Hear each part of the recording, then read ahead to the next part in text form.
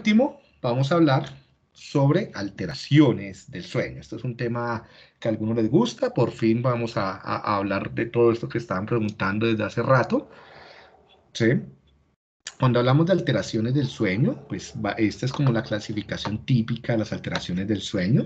hablamos de eh, una categoría que se llaman disomnios. Los disomnios son eh, alteraciones en la cantidad del sueño, ¿sí? más, que, más que en, la, en las conductas alrededor del dormir. Entonces, dentro de los disomnios tenemos los, los hipersomnios y los eh, insomnios, o las insomnias y las, paras, y las eh, y las hipersomnias, ¿sí? O sea, entonces, aquí, si el disomnio es porque se incrementan las ganas de dormir, le llamamos hipersomnia. Si el disomnio es porque se reducen las ganas de dormir o no se puede mantener el sueño, hablamos de insomnios. ¿Listo? Es hipersomnias e, e insomnios. Todos los disomnios pueden ser causados por causas endógenas o intrínsecas, les llaman, y esto quiere decir que son producidas por como factores psicológicos o enfermedades, principalmente ansiedad, depresión, manía, o algunos cambios metabólicos, hormonales, eh, o sea, como que propios de nuestro, funcionamiento del cuerpo. ¿Listo? Los, tras, los disomnios extrínsecos, ya sea insomnio o hipersomnio, son debidos a causas externas, por ejemplo, eh, mala higiene del sueño, eh, vivir cerca de un amigo ruidoso, vecino ruidoso, cosas por el estilo, eh, polución y demás. Y tenemos ya los trastornos de los ritmos circadianos, que tienen, pues hay una variedad de, trastornos que no vamos a ver acá, que no hay, no tiempo, ¿no? Síndromes donde pueden generarse eh, eh, como la narcolepsia y cosas por el estilo, ¿sí? Las parasomnias o parasomnios son trastornos asociados eh, o son trastornos de las conductas alrededor del dormir, no, no tanto de la cantidad de, de sueño o de las ganas de dormir, sino de las conductas asociadas al dormir, ¿sí? Pueden haber trastornos del despertar, como la parálisis del sueño o el despertar confusional, trastornos de la transición de sueño eh, eh, REN a vigilia, también como la, parálisis del sueño, las alucinaciones hignagógicas, hignapómpicas, aquí en los trastornos del despertar, que es como soñarse lo que está pasando alrededor. Eh, otras parasomnias asociadas al sueño REM y otras del, del sueño no Y ya otros trastornos ocasionados por drogas o por causas médicas o psiquiátricas que eh, pues acá no vamos a, profundizar. Con respecto a los disomnios, tenemos los que son intrínsecos y extrínsecos, ya lo dijimos, que son de origen interno o externo. Dentro de los intrínsecos tenemos, por ejemplo, el insomnio psicofisiológico, que es el más común, que es debido a ansiedad por problemas, que no logras quedarte dormido. Eh, que básicamente porque estás demasiado activado por tus problemas o por el estrés. El insomnio idiopático, que no tendría una causa clara, ¿sí? Hipersomnias sin una causa clara, fatiga todo el tiempo, o hipersomnios postraumáticos después de un evento eh, demasiado estresante, pues puedes tener eh, problemas para quedarte despierto. ¿sí? Y otros de los disomnios son, por ejemplo, la narcolepsia, que son ataques súbitos e irresistibles de, eh, de, sueño, que puede ser como en este caso con cataplexia, que las personas cuando están riéndose, como en los casos de los perritos, se, caen por alteraciones en los genes de las orexinas, mutaciones en los genes de las orexinas o hipocretinas. ¿sí? Y otros hipersomnios por excesiva somnolencia por lo menos durante un mes, trastornos respiratorios como las apneas obstructivas y centrales o de ventilación reducida que pueden dañar severamente el cerebro a través de la vida, llevándonos a estados de demencia, por eso deben ser tratados, que no es solamente porque la persona ronque o algo así, sino que definitivamente dañan su salud. algunos disomnios extrínsecos como el sueño es el síndrome de sueño insuficiente, el síndrome de comida o bebida nocturna, que, que tienes que pararte a comer o a tomarte algo, por debido, los debidos a malos hábitos de, de, de, de, higiene del sueño, malos hábitos de la vigilia o la, dormir. Trastornos ligados a un factor ambiental, por ejemplo, como los síndromes estacionales, ¿sí? del invierno, el verano, cosas por el estilo, demasiada iluminación, algo así, eh, por la altitud y, y, por ejemplo aquellos debidos a al consumo, a la dependencia, que generan pues sensaciones de ansiedad por el consumo de drogas. Bien, esos serían como los, para, los disomnios. Ahora con respecto a los parasomnios, pues tenemos que son conductas asociadas a las conductas del dormir, ¿no?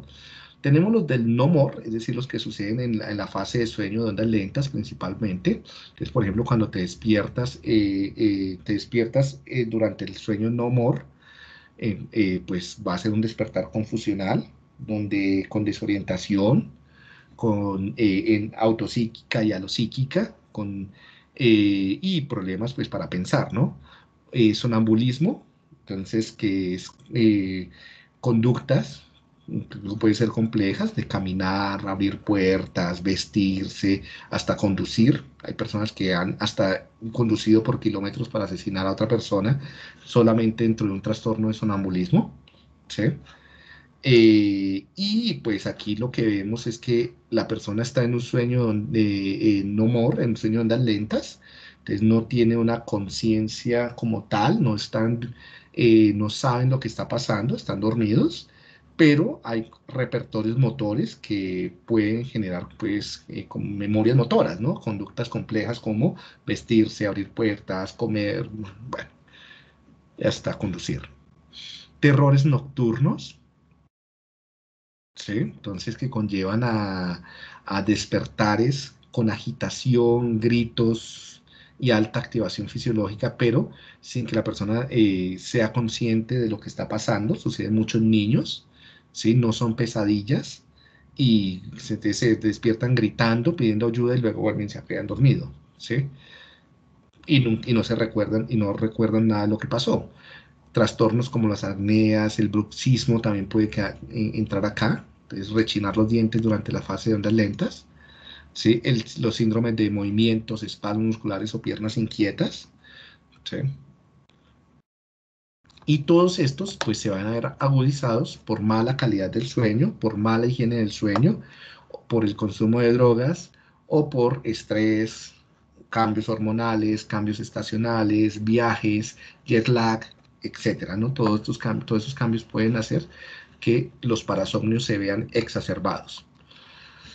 Y los parasomnios asociados al sueño REM, entonces donde tenemos las pesadillas, que son recurrencia de imágenes oníricas con eh, bastante aversivas y muchas veces de las cuales se repiten, se repiten, no se puede escapar, básicamente por eh, eh, problemas emocionales y que, que no se controlan adecuadamente. Parálisis del sueño, ¿sí? donde hay una, un bloqueo a nivel del bulbo la médula y, y, con, una, con un estado de más o menos conciencia, porque muchas veces no es completo el estado del despertar, con sensaciones de presión en el pecho eh, por el bloqueo, con sensación, con, puede ir mezclado con alucinaciones signapómpicas, que incluso con pesadillas, entonces donde te sueñas ver brujas, pues, duendes, eh, demonios, etcétera. Eh, trastornos de erecciones dolorosas, nombres, obviamente, trastornos del comportamiento, personas que no se bloquean, todo lo contrario a la parálisis eh, durante el sueño REM, entonces actúan los sueños, generando mucho riesgo para ellas y para otras personas, los soliloquios y las eneuresis, que es hacerse chichi, ¿no? Los soliloquios es hablar durante el sueño. Recuerden que todo esto, eh, pues, eh, no es que tú tengas solo una, sino que por lo general el que tiene una parasomnia suele tener varias, y el que tiene disomnio suele también tener parasomnias. ¿Sí? Eh, muchas veces pues, lo que vemos es que en diferentes parasomnias lo que, eh, lo que se altera es la estructura del sueño, entonces el electroencefalograma eh, que debe ocurrir en cada fase del sueño asociado como a esta eh, a esta neuroquímica del dormir se ve alterado y por eso no pueden permanecer durante, en cada fase del sueño, ¿no? Entonces se fragmentan la estructura del sueño. Entonces esta es la estructura que debería tener una persona normal, pero los pacientes con, para, con disomnios, con parasomnias digo, eh, lo que tienen es estructuras anormales con activaciones súbitas o con diferentes patrones de actividad neuronal que impiden tener una estabilidad en el dormir. ¿sí?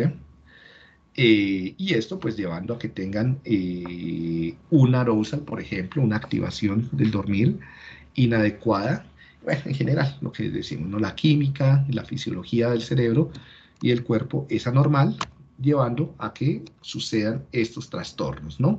Esto, estos, principalmente los disomnios, se han estudiado bastante en psicología forense, por ejemplo, lo que les comentaba, en casos de personas que, que han conducido y asesinan a otras personas y salen libres porque definitivamente no tuvieron alguna responsabilidad porque estaban en ondas lentas, en ataques de sonambulismo, o personas que eh, han sido abusadas, o, ¿sí? porque el abusador dice que la persona accedió al contacto sexual y después se mira y era que estaba en un episodio de sonambulismo y pues la otra persona pensó que sí quería y no quería, pero pues, ahí es complejo, ¿no? Entonces, y hay varios componentes así similares. Eh, bien, esto sería todo lo que teníamos sobre el sueño y sus alteraciones.